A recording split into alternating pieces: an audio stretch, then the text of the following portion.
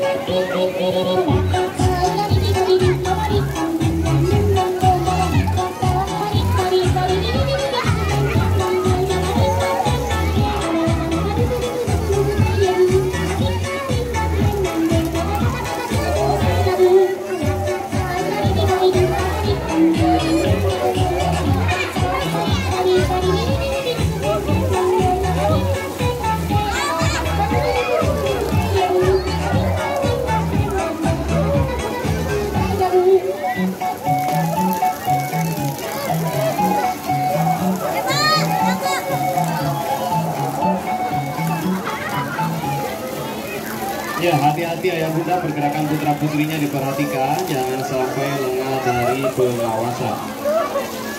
Jika bagi Anda yang mau berpindah dari wahana mandi busa ke wahana kolam yang lain, jangan lupa untuk dibilas dulu busa yang ada di badannya.